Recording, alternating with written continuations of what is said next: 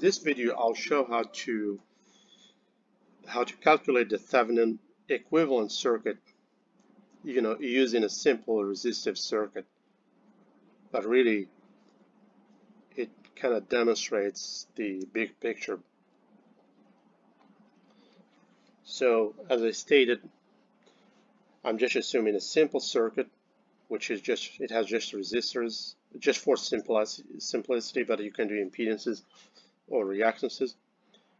So I'm just assuming I have a source voltage, V1 is 9 volts, I have R1, R2, R3, R4, and I'm trying to calculate the Thevenin equivalent of the circuit basically.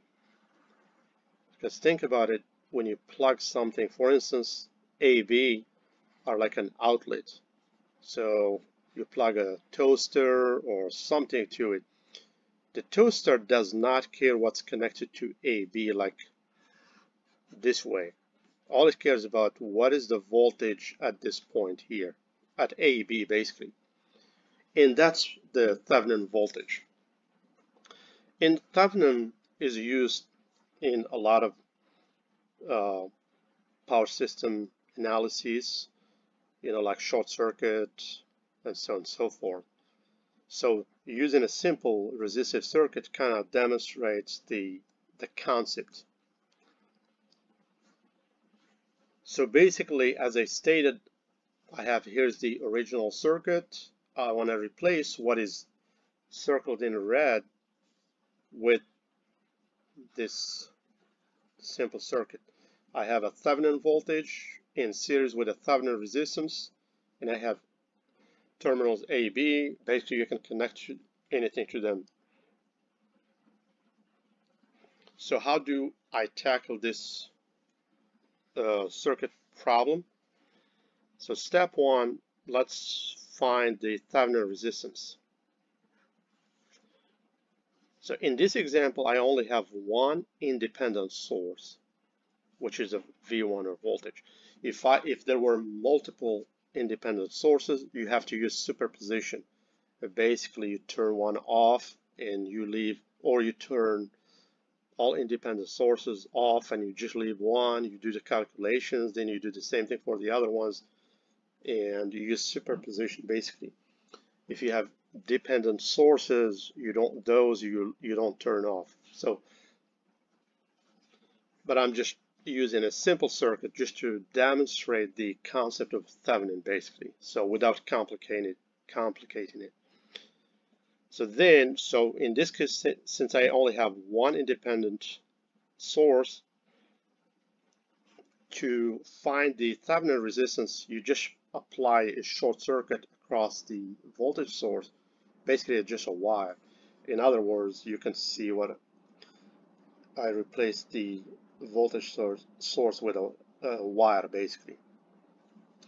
So in doing that, notice that R1 and R2 are in parallel. So, so this slash, forward slashes, double slashes just means in parallel. So R1, R2 are in parallel. So I called it R equivalent 1. So from circuit analysis when you have two two resistances in parallel. So it's 1 over the inverse of 1 over the sum of the inverse of the resistances. So if you carry out the calculation you get 85.71 so so I replace basically R1 and R2 with their equivalent R equivalent 1 here in this circuit. So notice now R equivalent R equivalent 1 is in series with R3. So I can get the equivalent resistance, so I'm calling it R equivalent 2. So 85, so R equivalent 1 is 85.71 plus R3, which is 100 ohms. So it's the equivalent is 185.71 ohms. So then I replace R equivalent 1 plus R3 with their equivalent, which I called R equivalent 2. So notice it's in parallel with, with R4. So our, the, their equivalent, since I don't have any more resistances, so that's basically the Thevenin. So they're in parallel, so you do the same thing, 1 over 1 over R equivalent 2 plus 1 over R4. You carry out the calculation, you get 96.3 ohms. So basically that's the Thevenin. So now we need to find the Thevenin voltage. So one way to find it is to calculate what I labeled here, current I2 that flows through R4 and use Ohm's law basically. V4 or voltage across R4 is R4 times I2. So that's one way. So if we want to do that, notice that I2 flows through R3 and R4. So that means R3 and R4 are in series.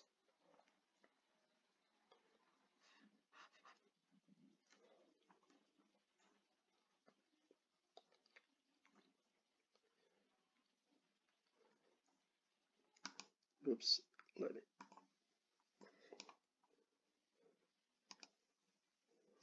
Sorry about that. So so R3 and R4 are in series. Then R2 is in parallel with the sum of R3 and R4. So R3 and R4 are in series and R2 is in parallel with R3 plus R4. So if you find the equivalent of them, then I called it R equivalent 5. So it's 1 over 1 over 150, which is R2, plus 1 over 300, basically 200, which is R4 plus R3. So the equivalent is 100 ohms. So, so here is R equivalent 5. So then to calculate current I1 is just Ohm's law, V1 divided by the total resistance, which is 9 volts divided by R1, which is 200 plus R equivalent 5, which is 100, you get 0.03 amps. Why did I calculate I1? Because I want to take advantage of current division to calculate I2. So notice R3, R4 are in series and their sum is in parallel with R2. So I, can use current division because if I I can redraw redraw this circuit. So basically think about it as if there is just so I1 is flowing through. So you have R2 is here. So R1 is not in the, in the equation because it's in series with, with I1, so it doesn't count. So R2 is in parallel with R3 plus R4.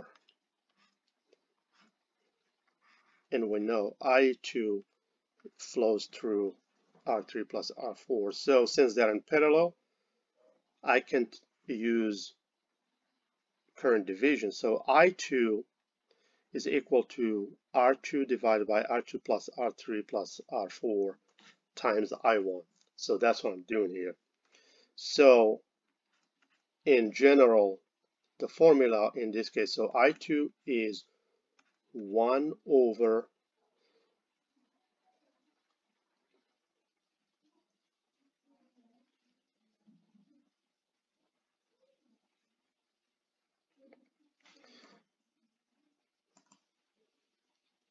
let me erase this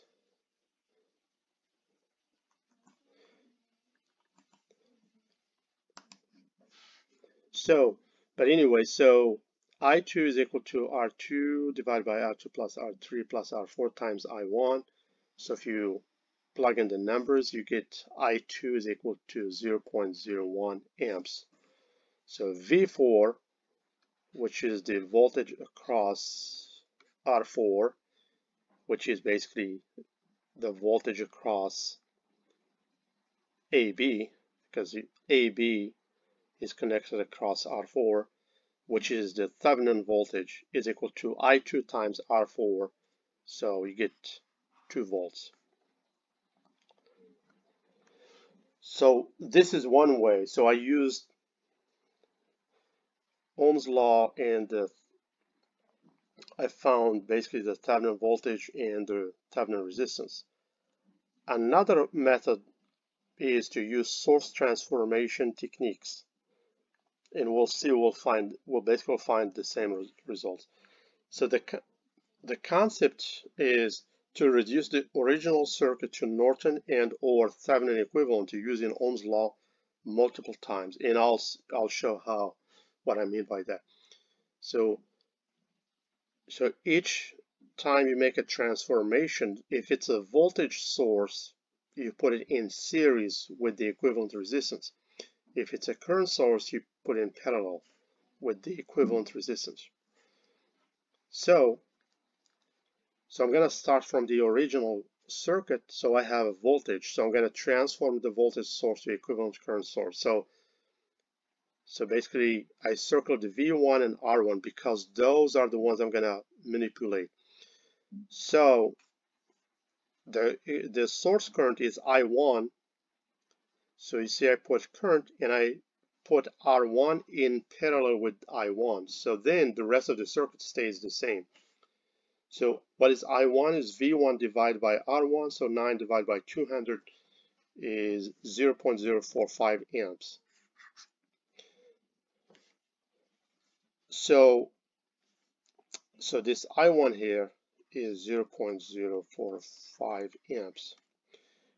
Then notice that R1 is in parallel with R2. So I replace them by their equivalent, which is R equivalent 1. And what is that? It's 85.71 ohms.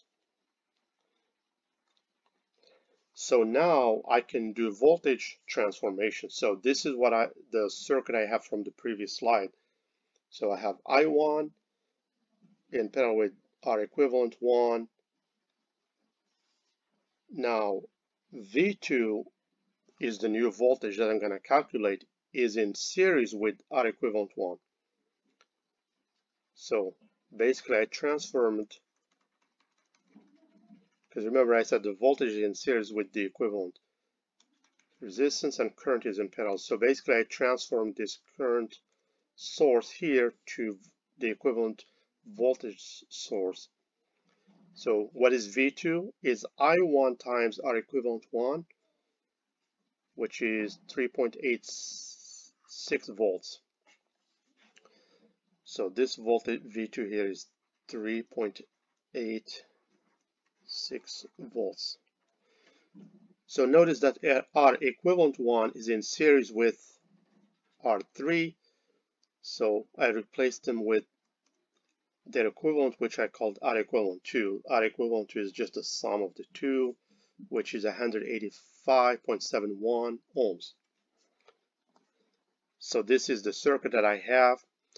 Now I want to transform it, this into the current equivalent current source. So the new current I'm calling I2. So I the current is the source is in parallel with R equivalent 2. And what, what is I2 is V2 divided by R equivalent 2. So if you carry out the calculation, it's 0.02078 amps. Notice R equivalent 2 is in parallel with R4. So I can get their equivalent, which I called R equivalent 3. And what is that? So R equivalent 2 is in parallel with R4.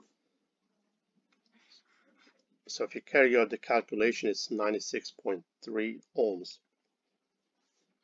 So basically, this is the new circuit, there is no more resistances. So I can stop here. So this is the Norton equivalent circuit because you have current source is in parallel with the equivalent, the Norton or Thevenin uh, is Norton equivalent resistance. I can transform that to the equivalent Thevenin. So again, basically you take the volt, the current source and the resistance, you transform it to voltage source. So V3, which uh, this the Thevenin, basically the Thevenin equivalent is I2 times R equivalent 3, which is 2 volts. So V Thevenin is equal to V3, which is 2 volts. And R Thevenin is equal to R equivalent 3, which is 96.3, which I calculated in the previous slide. So notice I got the same the same results. So you can use source transformation techniques, or you can just use uh, Ohm's law, current division, which whichever you are comfortable with. Thank you and have a great day.